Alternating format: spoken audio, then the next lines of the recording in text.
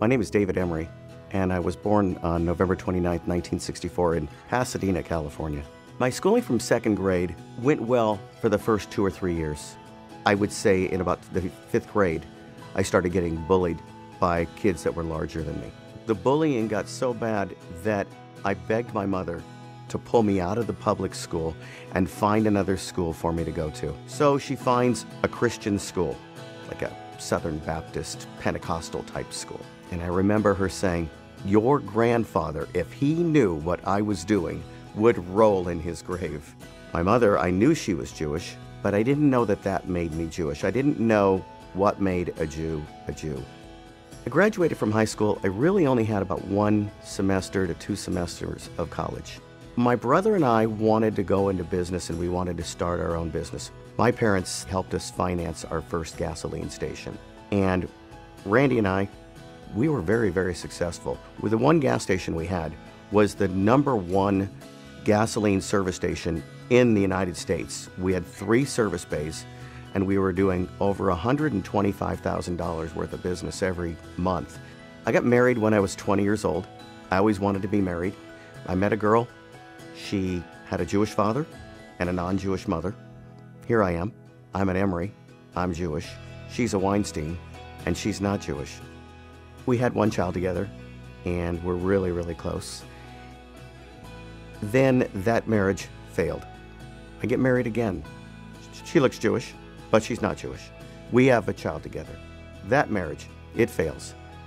I'm wondering what's going on. Why do I have success in so many areas of my life, but I can't find the right person? So, in about the year 2000, my brother Randy and I were on an airplane, and I said to my brother Randy, I said, Randy, I said, I've been at this for 10 years. I'm 35 years old. I think I want to do something different now. He says, Well, what do you want to do? I says, I think I want to own a campground. He said, Okay, if you want to sell, let's sell. Within six months, we had sold our gas stations and I was looking for a new profession. I find a broker. The broker says, I've got one that just came open in Colorado Springs. I get in my motorhome and I go on a camping trip to Colorado and I find the one that I purchased. Soon after I buy the campground, a, a Jewish looking couple walks into my office and she has a Star of David around her neck and he's got a beard. And I asked him if they were Jewish. And he says, No, we're Hebrews. He asked me, What are you? I said, Well, my mother's Jewish.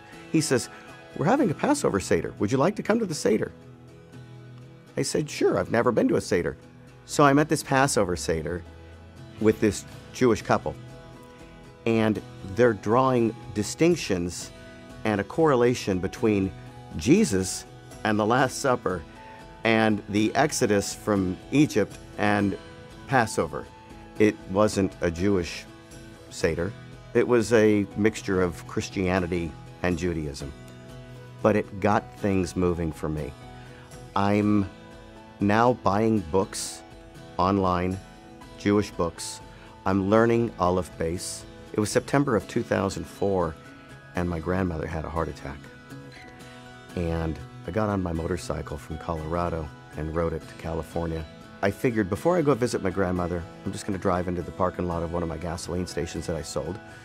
And I'm going to visit with the owner of the gas station who happened to be a friend of mine. The bank that was on the right hand side is now a Chabad center. I didn't know that the bank had gone under. I didn't know that it had become a synagogue. And I walk in and I'm looking for somebody because the door's open. In the kitchen, I find the rabbi. I said, I've never been into a synagogue. I've, uh, I don't know anything about Judaism. I've been kind of learning a little bit on my own. And I just thought I'd stop in and say hello. I don't know why I'm here. And he says, I'd, I'd like to put tefillin on you. Have you ever put tefillin on? I said, No, I've never put tefillin on. And he says, I'd like to put tefillin on. He says, Are you right or left handed? I says, I'm left handed. So he helps me out. I said the Shema for the first time with tefillin on. It was a very moving experience. Two months later, after I come home from California, my grandmother's passed. I had some very, very touching moments with her before she left. And I get a phone call, and it's a rabbi. at my campground. And he's, I'd like to come see you. It's a cold November night, it's 15 degrees. We're sitting on the front porch of my campground. So the rabbi tells me that how he found me was because the rabbi in Mission Viejo called him up because they went to yeshiva together. And I'm thinking this is such a weird thing that they could know each other. We got to know each other so well that he would invite me over for Shabbos meals. And so I would show up and I would go on a Friday night. I started wearing a yarmulke nonstop. I kept kosher and many, many other things. Now that I'm becoming more Jewishly observant, I know it's time for me to find a like minded Jewish woman. So I go to the internet, go to a website called Frumster, registered on the site. A week goes by and I get an email from a Jewish woman by the name of Debbie. The email's articulately written. It turns out that Debbie is from Denver, and Denver is only an hour to an hour and a half away. Debbie and I have a lot in common. I realize that she's a former California native, and so am I. I'm from Mission Viejo, Debbie's from Rancho Palos Verdes. Debbie and I saw each other for about a year and a half. After Debbie and I got engaged, we flew to California, and on that trip, I was privileged to meet Rabbi Yitzi, Rachi, and all the kids, and spent a Shabbos in Rancho Palos Verdes. On uh, November 22nd of 2007, Yud Beis Kislev, Debbie and I got married at the campground. It was 22 degrees, and there was a foot of snow on the ground. We were privileged to have Rabbi Yitzi come to our wedding and read the Rebbe's blessing under the chuppah. Debbie and I have been married for about 11 and a half years now, and we come to Rancho Palos Verdes probably six times a year. We enjoy visiting, but not just enjoy visiting Debbie's mother and my mother, who often visits when we're here, but we really, really enjoy visiting this community. The Palos Verdes community is absolutely wonderful. The guys that come to this shul are just absolutely amazing. Feel like finally I have success in every area and aspect of my life. That now that I've got Yiddishkeit, now that I've got Chabad, Rabbi Yitzi, and everybody else I've met in the process, that things are much, much better.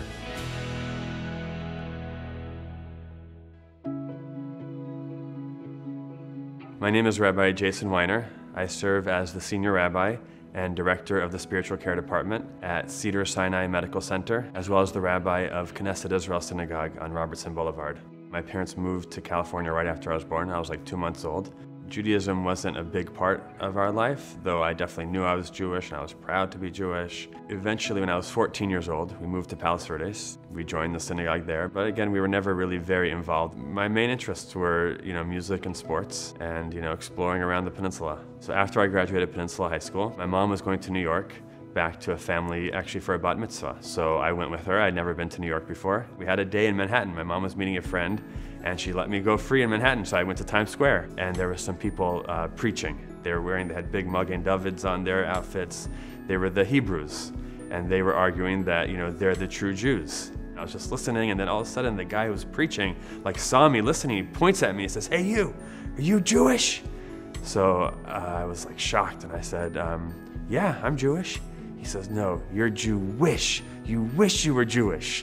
Even if you were Jewish, you could only be like a little Jewish, like five ish, bluish Jewish. You're not the true Jew. We're the true Jews. And you're a fake Jew, and I'll prove it to you. And he starts reading verses from the Torah. He was like very aggressive, and after a little while, I just kind of like walked away. I think I was even like crying. When we came back to PV after that trip, I remember I went to the Barnes and Nobles at Del Amo or the Borders in PV. I was like looking at every Jewish book they had in the Judaica section, and I was just trying to like find the answer. And I was going online. You know, internet was brand new then. I went on AOL. I started researching like Palos Verdes and Jewish, and then somehow I saw that there was a Chabad in Palos Verdes. And then I saw, you know, you could like see, you know, if someone was online or contact, how to contact them. So I instant messaged um, Rabbi Yitzi and I just said, like, are you a rabbi?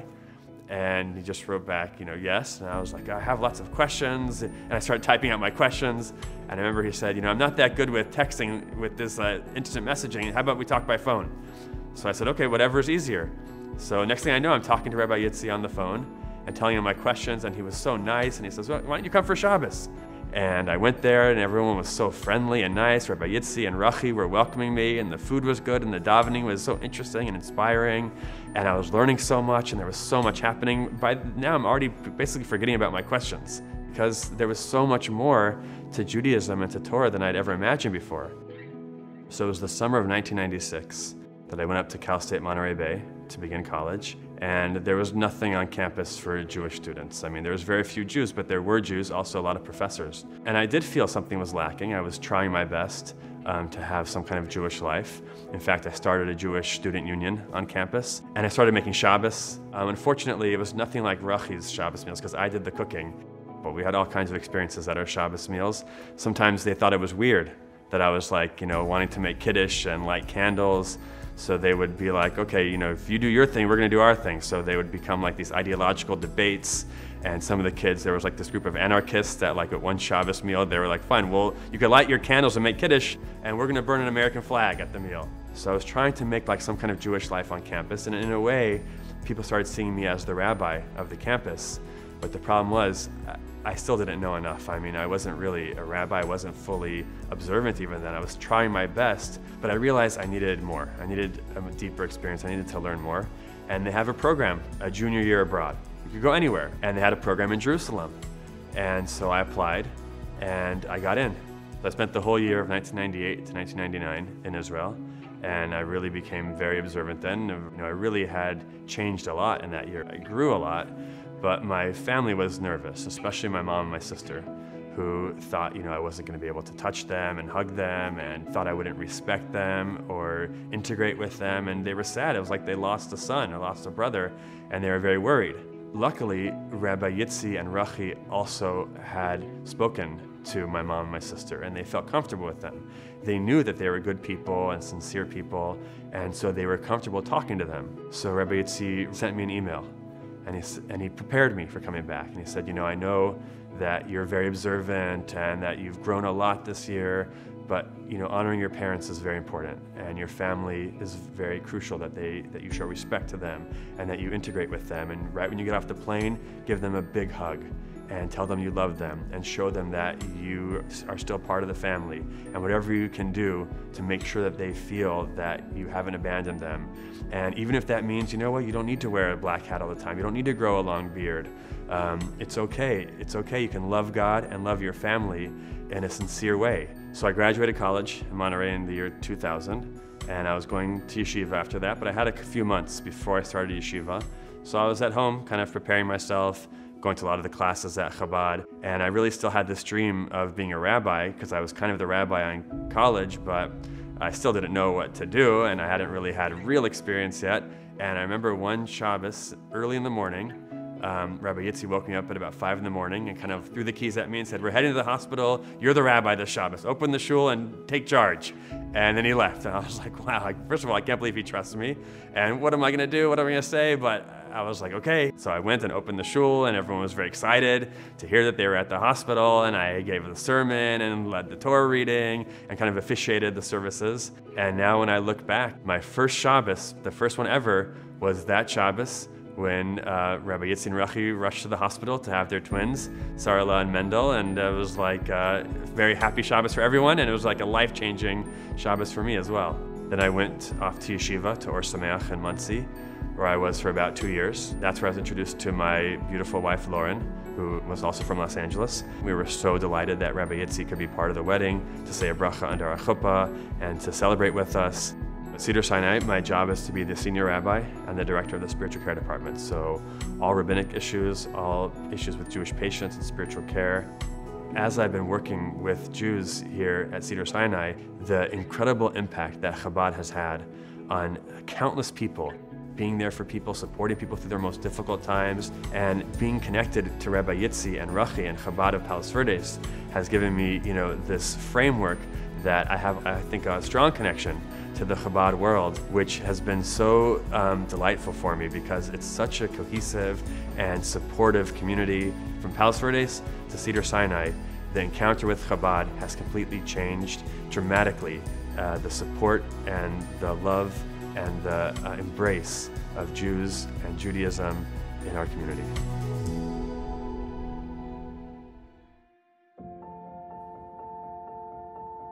My name is Sherry Efron.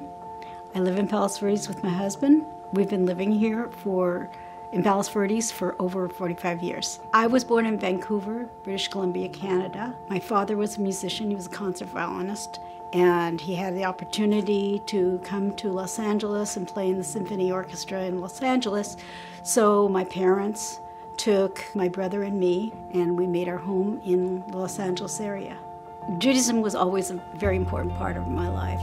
Um, I remember my grandfather, my mother's father, used to teach, prepare uh, bar mitzvah boys. And I would come in there and say, Zeyde, can I sit under the table and listen? So I would go and I'd listen to everything, and, and I would repeat what he said, uh, the whole new, the, all the Torah portions. I knew everything.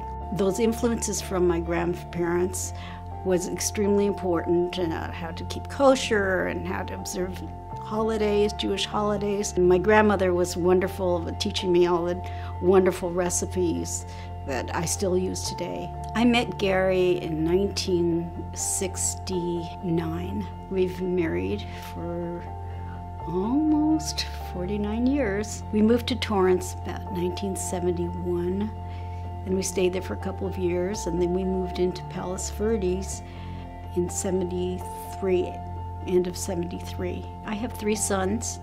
My oldest one is Nathan, my second one is Joshua, and my third one is Jeremy. I learned about the special program of giving challah to seniors at the home from Merachi. We were just casually talking about it, and I said that this is something I would really be interested to do. When I come and visit them, they're so happy to see a Jewish a Jewish person that's interested in bringing them a challah and spending some time with them. It means I think it means a lot to them. I it certainly means a lot to me because I learned from them I used to visit Miriam and Harvey together in the room. She would tell me, you know, stories, and Harvey was such a loving man. He was just a sweetheart, and he adored Miriam. I was saddened when I heard that he passed away because I really missed him. But Miriam, she continued with her observance of Shabbat, as she always did, and that was important to her, and observance of, of the holidays, doing this one good deed visiting these people does make me feel really special in a way that you can't compare it with anything else because uh, there's so many people that need the attention uh, of, of just a human, a Jewish human soul to come over and, and let them know, you know, this is so important.